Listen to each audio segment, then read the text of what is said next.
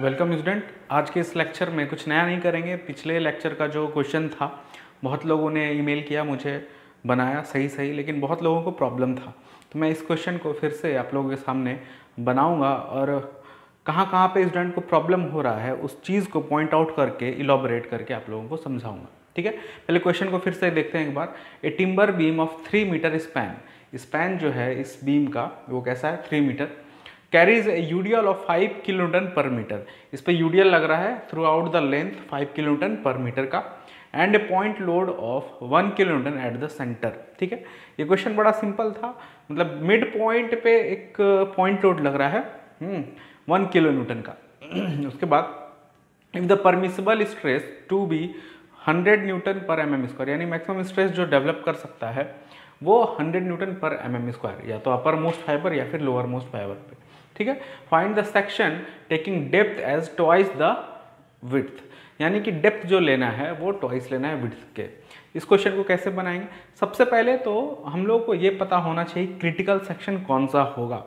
कहाँ पे bending moment सबसे मैक्सिमम होने जा रहा है, उस सेक्शन को फाइंड आउट करना है। जैसे कल एक क्वेश्चन जो हम लोग किए थे, उसमें ये पॉइंट लोड बीच में नहीं लग के कहीं इस साइड लेफ़्ट साइड लग रहा था। उसमें क्रिटिकल सेक्शन फाइंड आउट करना थोड़ा सा मुश्किल था। लेकिन यहाँ पे चूँकि दो स्टैंडर्ड केस का समराइजेशन है, इसको ऐसे भी समझ सकते हैं हम लोग।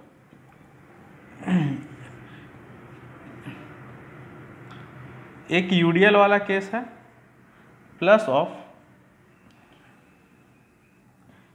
point load UDL का रेट ऑफ़ लोडिंग पाँच किलोटन पर मीटर और इसका वन किलो न्यूटन तो इसका भी फॉर्मूला पता है मैक्सिमम बेंडिंग मोमेंट का इसका भी फॉर्मूला पता है और दोनों का क्रिटिकल सेक्शन एक ही पॉइंट पर होगा। इसका भी क्रिटिकल सेक्शन मिड पॉइंट पे parabolic W L square by eight और इसका जो भी जो क्रिटिकल सेक्शन होगा, यानी मैक्सिमम बेंडिंग मोमेंट का, वो भी मिड पॉइंट पे होगा डब्ल्यू एल बाई फोर यानी कि दोनों का क्रिटिकल सेक्शन जब एक ही पॉइंट पे हो तो सिंपल स्टैंडर्ड फार्मूला हम लोग अगर जोड़ दे तो मैक्सिमम बेंडिंग मोमेंट पता चल जाएगा। एम निकालने के लिए और कुछ करना ही नहीं था। सिंपली इस दोनों को जोड़ देना था W L square by eight plus of W L by four ठीक है? लेकिन ये सिचुएशन आप तभी करेंगे जब दोनों क्रिटिकल सेक्शन इस तरह से हम लोग तोड़े हैं, दो अलग अलग समराइज करके यहाँ पे आया है। तो दोनों का क्रिटिकल सेक्शन अगर एक ही हो तब अगर ये पॉइंट लोड इधर लगता तो इसका क्रिटिकल सेक्शन कहीं और होता और इसका क्रिटिकल सेक्शन अगर मिड पे होता तब हम लोग ऐड नहीं कर सकते। तब हम लोग को थ्रू प्रोसेस लॉन्ग प्रोसेस जैसे जाते हैं हाँ वैसे ही करना पड़ेगा। पहला तरीका ये कुछ रिएक्शन निकालने की ज़रूरत ही नहीं इस तरह से एम निकल जाएगा। आपको एग्ज़ाम में ये चीज़ देखना चाहिए कि, कि कहाँ पे है इस तरह के। आप जितना ज़्यादा प्रैक्टिस करेंगे ये सब चीज़ उतना ज़्यादा क्लियर होते जाएगा। ठीक है, बहुत सारे स्टूडेंट का ये भी प्रॉब्लम था कि कर रहे थे सारा कैलकुलेशन वगैरह में मिस्टेक्स आ रहा था स्टेप्स बहुत सही जा रहा था इन कैलकुलेशन गलती आ रहा था। तो ये सब प्रॉब्लम तभी अराइज होता है जब आप प्रैक्टिस नहीं करते। तो प्रैक्टिस ज़्यादा करिए, ज़्यादा ज़्यादा क्वेश्चन को अटैम्प्ट करिए। तो आपका जो कैलकुलेशन वाला ईरर है, जो कैलकुलेटर पे ईरर आता है वो नहीं होगा, ठीक है? अब दूसरा तरीका आते हैं लॉन्ग प्रोसेस के थ्रू हम लोग जाते हैं कि कैसे निकलेगा। उस प्रोसेस से भी समझने से आपका कॉन्सेप्ट क्लियर होगा।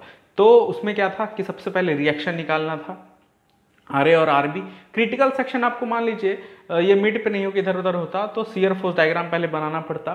सीयर फोर्स जहाँ पे साइन चेंज करेगा, वहाँ पे बेंडिंग मोमेंट मैक्सिमम होगा। वही पॉइंट क्रिटिकल सेक्शन ठीक है? तो उस प्रोसेस से हम लोग जाके देखते हैं कि क्रिटिकल सेक्शन कहाँ पे हो रहा है। वैसे साइमेट्रिकल सेक्शन है तो आपको देख के भी पता लगना चाहिए एज अ स्टूडेंट ठीक है? तो सबसे पहले हम लोग को क्या करना पड़ेगा? रिएक्शन निकालना पड़ेगा आर ए कितना होगा? आर बी कितना हो? ये पॉइंट ए है, ये पॉइंट बी है, ये पॉइंट सी है। तो आर ए, आर बी निकालने के लिए, चूँकि ये साइमेट्रिकल सेक्शन है तो टोटल लोड आधा इसमें बढ़ जाएगा, आधा इसमें बढ़ जाएगा। UDL throughout the section लग रहा है, आधा आधा उसका यूडीएल का, और पॉइंट लोड भी बीच में लग रहा है तो पॉइंट लोड का वन किलोटन 0.5 इसमें डिस्ट्रीब्यूट होगा 0.5 इसमें डिस्ट्रीब्यूट होगा। यानी टोटल लोड का सिंपली आधा आधा अगर कर दे तो आर ए और आर बी निकल जाएगा। टोटल लोड एक मीटर पे पाँच किलोमीटर तो थ्री मीटर पे पंद्रह, प्लस एक किलोमीटर का पॉइंट लोड, पंद्रह एक सोलह। तो आठ किलोमीटर ये हो गया और आठ किलोमीटर ये हो गया। ठीक है, रिएक्शन निकालने में भी लोग इस प्रोसेस को नहीं अपना के टेकिंग मोमेंट अबाउट ए उस तरह से गए हैं। तो वो सब जितना भी प्रॉब्लम्स आ रहा है, ये दर्शाता है कि आप प्रैक्टिस नंबर ऑफ़ क्वेश्चन का कम कर रहे हैं। नहीं तो ये देखते ही बेंडिंग मोमेंट अगर चैप्टर पे कमांड रहता तो देखते ही आप रिएक्शन फट से निकाल देते या डायरेक्ट मोमेंट भी निकाल देते, ठीक है? अगर मान लीजिए आपको लॉन्ग प्रोसेस से गए होंगे तो उसमें भी बहुत कोई गलत किए हैं, वो गलती कहाँ पर है, उसको पकड़िए। मान लीजिए रिएक्शन ऐसे नहीं निकालते हैं, आपके तरीके से निकालते हैं लॉन्ग प्रोसेस से निकालते हैं टेकिंग मोमेंट अबाउट ए ठीक है? टेकिंग मोमेंट अबाउट ए तो ए के अबाउट मोमेंट लेंगे तो R A into perpendicular distance zero इसके वजह से मोमेंट ज़ीरो हो गया। यूडीएल की वजह से एक्ट करेगा क्लॉकवाइज पॉइंट लोड की वजह से एक्ट करेगा क्लॉकवाइज आरबी की वजह से एक्ट करेगा एंटी क्लॉकवाइज सबका अल्जेब्रिक सम अगर ये बॉडी इक्विलिब्रियम में है तो summation of movement at about A equals to zero होना चाहिए। यूडीएल की वजह से पहले।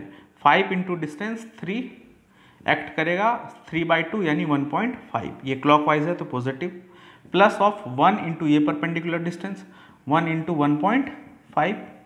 Minus of R B minus क्यों क्योंकि इस पॉइंट पे आने के लिए upward force anti clockwise direction travel करेगा। आर बी इंटू ये distance three equals to zero अगर आप इसको सॉल्व करें आर बी को उधर ले जाए और सॉल्व करके तो आर बी का वैल्यू आएगा eight kilo newton. R A कितना आ जाएगा? टोटल लोड में से आर बी को घटा देंगे total load five into three पंद्रह plus one kilo newton minus R B, यानी सोलह माइनस आठ equals to eight kilo. R A और आर बी ऐसे भी कितना पता चला? शुरू में भी निकला था एट किलो न्यूटन और एट किलो न्यूटन। ये दोनों पहले रिएक्शन निकालने में किसी को प्रॉब्लम नहीं होना चाहिए। ये बहुत ही बेसिक चीज़ है। अब आते हैं C R force S F D अगर इसका बनाना पड़े तो एस एफ़ डी क्या, कैसे बनेगा? ठीक है? C R force left to right अगर चल रहे हैं, सबसे पहले कौन सा पॉइंट आएगा? आर ए, ऊपर की तरफ़। कितना? एट किलो न्यूटन का। अब जैसे, आगे जैसे जैसे बढ़ते जाएँगे यूडीएल का वैल्यू क्या है? सीयर फोर्स का इंटेंसिटी को हर एक पॉइंट पे धीरे धीरे क्या करते जाएगा? कम करते जाएगा। ठीक है? तो सीयर फोर्स जहाँ पे पॉइंट लोड लगता है, वहाँ पे दो पॉइंट लेना पड़ता है। एक just before the point load और एक just after the point load तो just before the point load C अगर सीयर फोर्स हम लोग कैलकुलेट करें तो सिर्फ़ और सिर्फ़ यूडीएल और आरए का समराइजेशन होगा, अल्जेब्रिक सम होगा, पॉइंट लोड कंसिडर नहीं होगा। लेकिन इस पॉइंट के थोड़ा सा बाद जाएँगे तो वन किलोटन का भी कंसिडरेशन करना पड़ेगा पॉइंट लोड। तो C R for just before C R A ऊपर गए थे और ये यूडीएल का सिर्फ़ वैल्यू क्या होगा? घटेगा। इस पॉइंट लोड को भी मत देखिए, इस साइड का मत देखिए, जस्ट बिफोर सी। यानी यूडीएल का वैल्यू क्या होगा? घटेगा। यूडीएल का वैल्यू इस पॉइंट, इतने दूरी में कितना होगा? Five into one point five, यानी कि सेवन पॉइंट फाइव घट जाएगा। बचेगा कितना? सी पॉइंट से जस्ट पहले 0.5 बचेगा। 7.5 घट गया एट ऊपर गए थे 7.5 नीचे आ गए धीरे धीरे हर एक पॉइंट पे घटा है थोड़ा थोड़ा ठीक है? यूडीएल यही करता है कि सीयर फोर्स की इंटेंसिटी को हर एक पॉइंट पे थोड़ा थोड़ा घटाता है। और पॉइंट लोड क्या करता है? सडन ड्रॉ डाउन करता है। जैसे कि, जैसे ही पॉइंट लोड सी पे ही थोड़ा सा आगे बढ़े तो क्या करेगा? Sudden point load one kiloton का जो है अप्लाइड हो रहा है, वो डाउनवर्ड डायरेक्शन में ज़ीरो बचा था, एक किलोटन अप्लाइड हो रहा है तो नीचे कितना आ जाएँगे? 0.5 क्योंकि इस 0.5 को पहले ओवरकम करेगा, उसके बाद बचा उसके पास 0.5 तो नेगेटिव में ये सीयर फोर्स यहाँ पे आ जाएगा पॉइंट लोड के जस्ट बाद। अब आते हैं, आगे जैसे जैसे ये पॉइंट लोड तो कंसीडर हो गया, इधर का सारा कंसीडर हो गया फोर्स अब आगे जैसे जैसे बढ़ेंगे, इस पॉइंट से बी से जस्ट पहले इतना दूर का यूडीएल और नीचे घटाएगा ड्यू टू ग्रेविटी तो इतना दूर का यूडीएल का value five into one point five यानी कि सेवन पॉइंट फाइव और 7.5 यूडीएल की वजह से, और पहले से कितना नीचे आ गए थे? 0.5 तो टोटल कितना नीचे आ गए? 8 किलो न्यूटन अब जैसे ही पॉइंट लोड को भी कंसीडर किए shear force at point B अब ये आर बी ऊपर ढकेल रहा है। तो कितना इंटेंसिटी से? 8 किलो न्यूटन का। 8 नीचे भी गए थे, और आर बी ऊपर फिर से इसको ढकेल के कितने पे लेते हैं? ज़ीरो पे। तो ये पॉजिटिव और ये नेगेटिव तो सीयर फोर्स अपना साइन कहाँ पे चेंज किया? पॉइंट सी पे। एग्जैक्टली पॉइंट सी पे, इसमें कोई डाउट ही नहीं, इस पर कोई दो मत ही नहीं है। जहाँ पे पॉइंट लोड सी है, वहीं पे सीयर फोर्स अपना साइन चेंज करा है। बहुत लोग क्या किए हैं कि एक्सप्रेशन बनाए हैं। एक्स दूरी पे माना कि साइन चेंज कर रहा है, इस तरह से। तो एक्स का वैल्यू अगर वैसे, जहाँ पे कन्फ्यूज़न नहीं है, जहाँ पे एग्जैक्ट सीयर फोर्स एस के डायग्राम से ही पता चल रहा है, वहाँ पे इक्वेशन बनाने का ज़रूरत ही नहीं है। इक्वेशन तब बनाते हैं जब कंप्लीटली यूडीएल लगा लगते रहता, कहीं पॉइंट लोड नहीं लगता, तब जाके आपको कन्फ्यूज़न होता है कि इस पॉइंट पर ये दिख रहा है, दिख तो रहा है डायग्राम में चेंज कर रहा है, लेकिन वो कौन सा वैल्यू है? आपको नहीं पता रहता डायग्राम से, तब आप एक्सप्रेशन के थ्रू जाते और R A minus W into X plus जो भी है, उसका अल्जेब्रिक सम करके इक्वल्स टू ज़ीरो एक्स का वैल्यू निकालते। अगर आप इस एक्सप्रेशन को से एक्स का वैल्यू निकालेंगे सी आर फोर ज़ीरो करके तो एक्स का वैल्यू आपको 1.4 आएगा, जो कि गलत है। क्यों? क्योंकि x का वैल्यू अगर 1.4 कंसीडर करते हैं तो इस पॉइंट लोड का तो कंसीडरेशन हुआ ही नहीं। ये पॉइंट लोड कहाँ पे आपको जाके मिल रहा है? 1.5 पे। ठीक है? तो 1.5 पे आपको जाना पड़ेगा, तभी सीयर फोर्स वहाँ पे क्या कर रहा है? साइन चेंज कर रहा है, ठीक है? जिस पॉइंट पे ये सी पे पॉइंट लोड लग रहा है, वहाँ पे सीयर फोर्स का बहुत सारा वैल्यूज़ है। बहुत सारे, इस पॉइंट पे भी है, इस पॉइंट बहुत सारा वैल्यूज़ है। इसलिए इस तरह के एक्सप्रेशन को आप इक्वेशन के थ्रू सॉल्व ना करके डायरेक्ट आप डायग्राम से जस्टिफाई कर सकते हैं, देख के कि सीयर फोर्स अपना साइन कहाँ चेंज कर रहा है। ये विजिबल है कि 1.5 पे ही इसमें कोई डाउट नहीं है 1.5 पे ही साइन क्या कर रहा है? चेंज कर रहा है, ठीक है? अब आगे आते हैं। इसमें बहुत लोगों का गलती था कि 1.4 आया था। 1.4 आएगा ही नहीं। 1.4 कहीं ना कहीं यहीं पे रह जाएगा और इस पॉइंट पे इस वन किलोमीटर का कंसिड्रेशन नहीं हो पाएगा, ठीक है? अब आते हैं। और आप एक्सप्रेशन जो लिख रहे थे इक्वेशन में, उसमें वन किलोमीटर भी लिखे होंगे। आप लोग रिवाइज करके देखिए। जिन्होंने भी ये गलती किया है उसके लिए, ठीक है? जिन्होंने नहीं किया है उसके लिए, यहाँ पे ये डायग्राम को समझिए, आगे बढ़िए। उसके बाद आते हैं। ये क्लियर हो गया कि बेंडिंग मोमेंट जो होगा मैक्सिमम किस पॉइंट पे होगा? सी पॉइंट पे, और वहीं पे साइन चेंज कर रहा है अपना सीयर फोर्स डायग्राम पॉजिटिव से नेगेटिव तो इस पॉइंट पे बेंडिंग मोमेंट का value bending moment at C इस पॉइंट बेंडिंग मोमेंट का वैल्यू किस किस फोर्स के वजह से बेंडिंग मोमेंट होगा? एक आर और एक यूडीएल इसका इफ़ेक्ट इसी पॉइंट पे तो होगा नहीं, क्योंकि फोर्स तो है, लेकिन डिस्टेंस इसी लोड का, इसी पॉइंट के अबाउट डिस्टेंस ज़ीरो है। तो इसका इफ़ेक्ट बेंडिंग मोमेंट पे नहीं होगा। अब बेंडिंग मोमेंट जब निकालते हैं तो बताया था सैगिंग साइन कन्वेंशन जो यूज़ करते हैं सैगिंग बेंडिंग मोमेंट पॉजिटिव और हॉगिंग बेंडिंग मोमेंट नेगेटिव तो ये जो लोड है, इस पॉइंट पे कैसा बेंडिंग मोमेंट क्रिएट करेगा? ऊपर ढकेलेगा बीम को, यानी सैगिंग और यूडियल जो है, इस बीम को नीचे ढकेलेगा, यानी हॉगिंग पहले आर के वजह से। एट इंटू ये डिस्टेंस कितना है? वन पॉइंट फाइव ये पॉजिटिव क्योंकि सैगिंग क्रिएट कर रहा है। माइनस यूडीएल यूडीएल का लोड यानी फाइव इंटू ये डिस्टेंस 1.5 और एक्ट कहाँ से करेगा? 1.5 डिवाइडेड बाई टू माइनस इसलिए लगाएँ क्योंकि यूडीएल जो है, इस बीम को हॉगिंग नेचर में तोड़ेगा। तो इसको आप लोग अगर सॉल्व करेंगे तो एम का जो वैल्यू आया है, वो आया 6.375 6.375 kilo newton metre 6.375 into ten to the power six newton M mm में आ जाएगा, ठीक है? न्यूटन एम mm में। अब इस एम को आप लोग, जैसे M by I equals to stress by Y क्या निकालना था? डायमेंशन डी निकालना था बी निकालना था। तो बस पुट करिए एम का value six point three seven five into ten to the power six I के जगह B D cube by twelve B D के जगह टू बी रख सकते हैं। क्या cube divided by twelve twelve ऊपर चला गया। उसके बाद स्ट्रेस का वैल्यू मैक्सिमम स्ट्रेस हंड्रेड है। वाई का value two D by two D का value two B divided by two यानी टू टू कट जाएगा। सिंपली बी लिख सकते हैं। या फिर आप ऐसे लिखिए two B divided by two D divided by two यही हुआ, ये टू कट जाएगा। अब इससे बी कैंसिल करिए। Six point three seven five into ten to power six into twelve twelve नीचे आ गया eight into hundred equals to B का क्यूब तो बी इक्वल्स टू ना to the power one by three तो B का value आप लोग कैलकुलेट करेंगे इसको। तो बी का वैल्यू जो आता है, वो कितना आता है? Forty five point forty five point seven three M M और डी का जो वैल्यू है टू बी के बराबर है। तो two into forty five point seven three ये वैल्यू आएगा ninety one point four five 91.45 mm इसको राउंड फिगर में 45 है तो 50 ले सकते हैं, इसको 100 ले सकते हैं राउंड फिगर में करके इस तरह से। ठीक है? तो आप लोग का स्टेप्स बहुत कोई का स्टेप्स सही था और ये फाइनल आंसर गलत आ रहा था। तो ये कैलकुलेटर जब आप यूज़ नहीं करेंगे, बस रखे रहेंगे कैलकुलेटर को तो ये कैलकुलेशन वाला मिस्टेक आएगा इरर आएगा, ठीक है? एग्जामिनेशन में यही होता है जिससे आपका एक दो मार्क्स कटता है। फाइनल स्टेप सही किए हैं, लेकिन आंसर नहीं आया तो मार्क्स कटेगा वहाँ पे, ठीक है? इसमें कोई डाउट नहीं है। इसलिए प्रैक्टिस जितना ज़्यादा करिएगा कैलकुलेटर पे आपका स्पीड बढ़ेगा एक्यूरेसी बढ़ेगा ह्यूमन ईरर जो होता है उसका चांसेस घटेगा। अब आते हैं नेक्स्ट असाइनमेंट पे, जो आप लोगों को दिया था, एक टी सेक्शन है। जो कि सिंपली सपोर्टेड है इसका स्पैन है फाइव मीटर। और ये यूडीएल का वैल्यू पूछा जा रहा है कि ये मैक्सिमम यूडीएल कितना न्यूटन पर एम mm या कितना kilo newton per metre carry कर सकता है, जबकि एक्सट्रीम जो स्ट्रेस ये ले सकता है, वो 150 एम पी ए सौ एम पी ए को ही newton per M M square unit दोनों सेम ही है मेगा पास्कल आप कन्वर्ट करेंगे न्यूटन और एम एम में तो फाइनली वो सेम रह जाता है, ठीक है?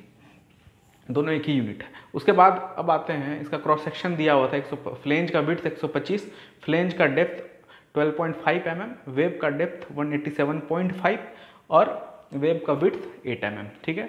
इस तरह का सेक्शन ये अनसाइमेट्रिकल सेक्शन है और इसमें आपको न्यूट्रल एक्सिस का पोजीशन डायरेक्टली नहीं पता है। जैसे आई सेक्शन में डायरेक्ट पता था कि मिड पॉइंट पे होगा रेक्टेंगुलर सेक्शन में डायरेक्ट पॉइंट पता था न्यूट्रल एक्सिस का डी बाई टू पे होगा, लेकिन यहाँ पे आपको नहीं पता है। इस डायरेक्शन का न्यूट्रल एक्सिस तो आपको यानी कि वाई बार निकालना पड़ेगा। वही न्यूट्रल एक्सिस होगा, ये वाई बार निकालना पड़ेगा। ठीक है? चूँकि एक्स एक्स एक्सिस के अबाउट ही बेंड करेगा तो इसलिए आपको वाई बार का ज़रूरत है। तो वाई बार कैसे निकलेगा? वाई बार इसको अगर सेक्शन वन माने, इसको सेक्शन टू माने तो हम लोग A one Y one plus A two Y two divided by A one plus A two ऐसे करके ए वन यानी one twenty five into twelve point five Y one इसका सी जी इसका सी जी कितना हो जाएगा? वन पहले हम लोग अलग अलग लिख ही लेते हैं। A one equals to one twenty five into twelve point five Y one equals to one eighty seven point five plus twelve point five का आधा one eighty seven point five plus of twelve point five का आधा। ये हो गया। A two है one eighty seven point five into eight 187.5 into eight Y two है। 187.5 का आधा 187.5 डिवाइडेड बाय टू इसको आप लोग कैलकुलेट करेंगे तो ए वन का जो वैल्यू आता है वो मैंने कैलकुलेट करके रखा है। आप लोग भी कैलकुलेट करिए। वाई वन का वैल्यू आता है 193.75 ए टू का वैल्यू आता है और वाई टू का वैल्यू आता है 93 पॉइंट आप लोग भी अपने से कैलकुलेट करके चेक करेंगे। सेवन पॉइंट सब ये एम एम स्क्वायर ये एम एम ये एम एम ये एम एम स्क्वायर इस सब वैल्यू को यहाँ पे पुट करें। जैसे ए वन निकल चुका है तो डायरेक्टली ए वन का वैल्यू पुट करिए। Fifteen sixty two point five Y one one ninety three point seven five plus of fifteen hundred into ninety three point seven five divided by fifteen sixty two point five plus fifteen hundred तो आपको जो Y बार value आएगा, वो कितना आता है? One forty four point seven seven one forty four point seven seven M M कहाँ से? इस बॉटम रेफरेंस पॉइंट से जो होल सेक्शन का सी जी है, वो one forty four point seven seven ठीक है? ये चीज़ है। ये आ गया आपका। अब हम लोग को वाई बार यानी न्यूट्रल एक्सिस का पोजीशन पता चल गया। अब देखिए, हम लोग को निकालना क्या है कि ये मैक्सिमम कितना यूडियल ले सकता है इस स्ट्रेस को जनरेट कराने के लिए। यानी कि एक्सट्रीम परमिजिबल स्ट्रेस का वैल्यू दिया हुआ है। इस स्ट्रेस पे कब पहुंचेगा? यूडियल कितना होना चाहिए? ठीक है, उस यूडियल का वैल्यू निकालना है। ठीक है तो यूडियल का जो वैल्यू है, कहीं ना कहीं किसमें छुपा हुआ है? सिंपली सपोर्टेड बीम है। इंटायर लेंथ में यूडियल लग रहा है तो एम में छुपा हुआ है। W L square by eight, ठीक है? तो मोमेंट का equation M by I equals to stress by Y इस पर पुट करेंगे तो आपको डब्ल्यू का वैल्यू पता चल जाएगा। आई कैसे निकलेगा? टी सेक्शन का moment of inertia moment of inertia वाले चैप्टर में जाइए, आप लोग वहाँ पे देखिए टी सेक्शन का मोमेंट ऑफ़ इनर्सिया कैसे निकलेगा? स्ट्रेस का वैल्यू 150 वाई का वैल्यू अब वाई का वैल्यू थोड़ा सा नया है। अब वाई का वैल्यू हम किसको बोलते हैं? कि देखिए न्यूट्रल एक्सिस से इस फाइबर का दूरी या फिर इस फाइबर का दूरी। दोनों में से जो मैक्सिमम होगा, अगर कंप्रेसिव स्ट्रेस पूछा जाता तो यहाँ से ये डिस्टेंस बोलते ठीक है? 200 हंड्रेड माइनस वन लेकिन टेंसाइल बेंडिंग स्ट्रेस अगर पूछा जाए तो न्यूट्रल एक्सिस से ये वाला दूरी 144.77 लेकिन क्वेश्चन में ऐसा कहीं नहीं लिखा है कि टेंसाइल या कंप्रेसिव। बस मैक्सिमम स्ट्रेस लिखा है। तो मैक्सिमम स्ट्रेस ज़ाहिर सा बात है, ये वैल्यू कम है तो ये नहीं होगा। ये वैल्यू यानी टेंसाइल बेंडिंग स्ट्रेस जो होगा, वो मैक्सिमम बेंडिंग स्ट्रेस में अब दो टाइप है। कंप्रेसिव बेंडिंग स्ट्रेस या टेंसाइल बेंडिंग स्ट्रेस बस पूछा जा रहा है कि मैक्सिमम बेंडिंग स्ट्रेस कितना है? 150 तो मैक्सिमम बेंडिंग स्ट्रेस कहाँ पे होगा? नीचे वाले फाइबर पे, यानी टेंसाइल बेंडिंग स्ट्रेस ही मैक्सिमम बेंडिंग स्ट्रेस होगा। तो y का वैल्यू चूँकि y डायरेक्टली प्रोपोर्शनल होगा स्ट्रेस डायरेक्टली प्रोपोर्शनल होगा किसके? वाई के। वाई जितना ज़्यादा स्ट्रेस उतना ज़्यादा। तो मैक्सिमम स्ट्रेस अगर ये है तो वाई का वैल्यू भी मैक्सिमम होना चाहिए। यानी कि न्यूट्रल एक्सिस से बॉटम मोस्ट फाइबर का जो दूरी है 144.77 वही वैल्यू किसका हो जाएगा? y का हो जाएगा। सब वैल्यू पुट करिए और आपको w का वैल्यू यूडीएल का वैल्यू कहीं ना कहीं निकल जाएगा, ठीक है? अब यहाँ पे मोमेंट ऑफ़ इनर्सिया निकालने में बहुत कोई को दिक्कत हुआ है, गलती किया है, उसको पहले देखते हैं रिवाइज करते हैं तरह से मोमेंट ऑफ़ इनर्सिया वाला चैप्टर देखिए। होल सेक्शन का जो सीजी है and neutral axis whole section का कहाँ पे लाई करा है? वाई बार जो निकाले 144.77 ठीक है? और इंडिविजुअल सेक्शन वन का इसको सेक्शन अगर वन माने हम्म, इसका वाई वन हम लोग निकाला था कितना? 193.75 ये सेक्शन अगर टू है इसका वाई टू कितना है? 93.75 अब आते हैं moment of inertia about X X axis X X axis तो I X X equals to I X X one plus I X X two यहाँ पर समझिए आई एक्स एक्स वन का मतलब क्या है? इस सेक्शन का मोमेंट ऑफ़ इनर्सिया इस एक्सिस के अबाउट रेड वाला जो एक्सिस है, इसके अबाउट और आई एक्स एक्स टू का मतलब क्या है? इस सेक्शन का मोमेंट ऑफ़ इनर्सिया इसी रेड एक्सिस के अबाउट दोनों का जोड़, यानी होल सेक्शन का मोमेंट ऑफ़ इनर्सिया इस रेड एक्सिस के अबाउट वही आ जाएगा। होल सेक्शन का सीजी कौन सा है? एक्स एक्स एक्सिस उसी के अबाउट मोमेंट ऑफ़ इनर्सिया चाहिए, ठीक है? तो जो हम लोग को फॉर्मूला पता होता है B D cube by twelve rectangular section का, इस इंडिविजुअल सेक्शन का मोमेंट ऑफ़ इनर्सिया इस वाले एक्सिस इसके खुद के सीजी के अबाउट पता होता है, ना कि किसी और सीजी के about B D cube by twelve जो पता होता है, इस सेक्शन का मोमेंट ऑफ़ इनर्सिया इसके खुद के सीजी के अबाउट जैसे इसमें भी B D cube by twelve करेंगे तो मोमेंट ऑफ़ इनर्सिया किसके अबाउट निकलेगा? इस एक्सिस के अबाउट लेकिन इस सेक्शन का भी मोमेंट ऑफ़ इनर्सिया इसके अबाउट चाहिए और इस सेक्शन का भी मोमेंट ऑफ़ इनर्सिया इसके अबाउट चाहिए। तो हम लोग क्या करते हैं? पैरेलल एक्सिस थ्रम लगाते हैं, क्योंकि ये एक्सिस इसका खुद का सीजी वाला एक्सिस एक्स डायरेक्शन में और होल सेक्शन का सी जी एक्स डायरेक्शन में दोनों एक दूसरे से पैरेलल है और कुछ डिस्टेंस पे है तो पैरेलल एक्सिस थ्रम लगेगा। और पैरेलल एक्सिस थ्रम क्या बोलता है? इसका खुद का सी जी के अबाउट एक्स एक्स डायरेक्शन में, इसके खुद के सीजी के about moment of inertia plus of A Y square अब वाई क्या है? दोनों एक्सिस के बीच का डिस्टेंस इसी को वाई बोलते हैं।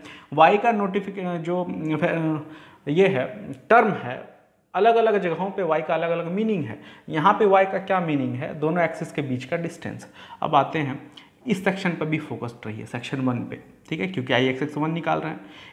इसका सी जी के, इसके सी जी के अबाउट एक्सेस डायरेक्शन में जो सी जी है मोमेंट ऑफ़ इनर्शिया क्या हो जाएगा? B D cube by twelve one twenty five into D twelve point five का cube divided by twelve plus of area इसका area one twenty five into twelve point five दोनों axis के बीच का दूरी, दोनों एक्सिस के बीच का दूरी कैसे पता चलेगा?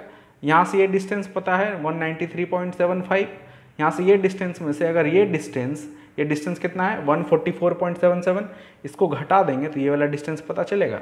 समझिए, ये डिस्टेंस ये डिस्टेंस में से ये डिस्टेंस को घटा दिए तो ये वाला डिस्टेंस पता चला। तो वही चीज़ कर रहे हैं वो इसी को वाई बोल रहे हैं। 193.75 माइनस 144.77 ठीक है? अब इसको सॉल्व आप लोग करेंगे तो आई एक्स एक्स वन जो आता है, वो आता है three seven six double eight four five point six seven M M four ठीक है? ये हो गया आई एक्स एक्स वन अब आई एक्स एक्स टू इस सेक्शन का मोमेंट ऑफ़ इनर्सिया पहले, उसके सी जी के अबाउट यानी क्या हो जाएगा? बी डी इसका बी कितना है? एट डी कितना है?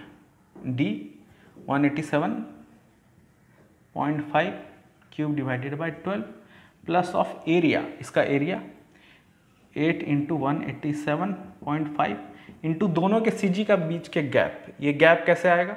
ये distance one forty four point seven seven, यहाँ से ये distance ninety three point seven five तो तो 144.77 माइनस नाइन्टी करेंगे तो ये डिस्टेंस पता चलेगा। यानी 144.77 माइनस नाइन्टी इसका स्क्वायर करिए। तो ये जो वैल्यू आता है आई एक्स एक्स टू वो वैल्यू आएगा। इसको आप लोग कैलकुलेट करके देखिए कितना आता है। तो इसको कैलकुलेट करके जो आई एक्स एक्स टू का वैल्यू आता है, वो इतना आता है, ठीक है? अब आई एक्स एक्स जो होगा, वो I X X one plus I X X two इस दोनों वैल्यू को, इस वैल्यू को और इस वैल्यू को आप लोग ऐड करें आपस में तो ये वैल्यू कितना आता है? दोनों ऐड करके one twenty sixty seven ninety three seven point five M M four ये इतना वैल्यू आता है। आई का वैल्यू पता चल गया। अब जैसे कि ये सिंपली सपोर्टेड बीम था, जैसे कि फिगर थ्री डायमेंशन व्यू में हम लोग ने देखा था। सिंपली सपोर्टेड बीम है इंटायर लेंथ पे क्या लग रहा है? यूडीएल लग रहा है। तो ज़ाहिर सा बात है एम का जो वैल्यू होगा वो W L square by eight ठीक है? अब आते हैं। M by I equals to stress by Y इस पर बस पुट करना था और डब्ल्यू का वैल्यू पता चल जाएगा। तो एम के जगह पे डब्ल्यू इंटू बहुत स्पैन दिया हुआ है, जैसे कि फाइव मीटर बहुत लोगों ने क्या किया है? वो फाइव मीटर डायरेक्ट पुट कर दिया है यहाँ पे। फाइव का स्क्वायर डिवाइडेड बाई एट यहीं पे गलती कर दिया है बहुत लोगों ने। क्यों गलती किया है? क्योंकि सब जगह यूनिट क्या ले रहे हैं? एम में ले रहे हैं। तो यहाँ पे भी इस इस यूनिट को भी किसमें कन्वर्ट करना था? ये मीटर में है। तो इसको भी फाइव थाउज़ेंड लेके एम में कन्वर्ट करना था पहले। क्या स्क्वायर डिवाइडेड बाई एट अब एम का वैल्यू सही आ गया। अब आई का वैल्यू जो निकला है one twenty sixty seven ninety three seven point ये आई का वैल्यू थोड़ा ज़्यादा आता है। आप लोग एग्जामिनेशन में अगर ज़्यादा आए तो ये मत सोचने लगेगा कि गलत आ गया। ठीक है? आप लोग बस प्रोसेस करते जाइएगा ये वैल्यू आया उसके बाद स्ट्रेस का वैल्यू 150 फिफ्टी था। एम यानी न्यूटन पर एम एम स्क्वायर ही होता है तो यानी एम में यूनिट है अभी भी। और जो आंसर निकलेगा डब्ल्यू का, वो भी न्यूटन में निकलेगा, क्योंकि ये न्यूटन पर एम एम स्क्वायर है। उसके बाद वाई का वैल्यू वाई का वैल्यू देखिए एक्सट्रीम न्यूट्रल एक्सिस से एक्सट्रीम फाइबर न्यूट्रल एक्सिस से अगर इसका दूरी आप देखें तो 200 हंड्रेड माइनस वन ये कम वैल्यू आता है। किसके बनस्पत? इस वैल्यू के बनस्पत। यानी ये वाला जो वैल्यू है न्यूट्रल एक्सिस एक्सट्रीम फाइबर का टेंशन साइड में, वो ज़्यादा है। ठीक है? तो उस ज़्यादा ज़्यादा वाला वैल्यू को ही यहाँ पे पुट करेंगे, यानी कि डायरेक्ट 144.77 लेकिन अगर मेंशन कर देता कि नहीं बेंडिंग कंप्रेसिव स्ट्रेस में स्ट्रेस का वैल्यू इतना दिया हुआ है, तब हम लोग को ये वैल्यू लेना पड़ता। लेकिन ऐसा कुछ मेंशन नहीं किया है। तो जो एक्सट्रीम डिस्टेंस हो न्यूट्रल एक्सिस से, उस डिस्टेंस को हम लोग पुट करें। यहाँ पे आप लोग डब्ल्यू को इसको कैलकुलेट करिए। तो डब्लू का जो वैल्यू आता है, वो वैल्यू आता है फोर न्यूटन पर एम एम। ये सही आंसर है। फोर पॉइंट समथिंग आएगा। यही बहुत कोई का ये आंसर नहीं आया, कुछ अलग आया है। क्यों अलग आया है? क्योंकि सभी ने यहाँ पे फाइव मीटर लिया था। ठीक है? इस तरह से क्वेश्चन को हम लोग करते जाएँगे। आप लोग प्रीवियस ईयर के क्वेश्चन को भी सॉल्व करें। जितना भी आया हुआ है पहले के एग्जामिनेशन में। और भी बुक का कोई क्वेश्चन हो तो उसको सॉल्व करें। Thank you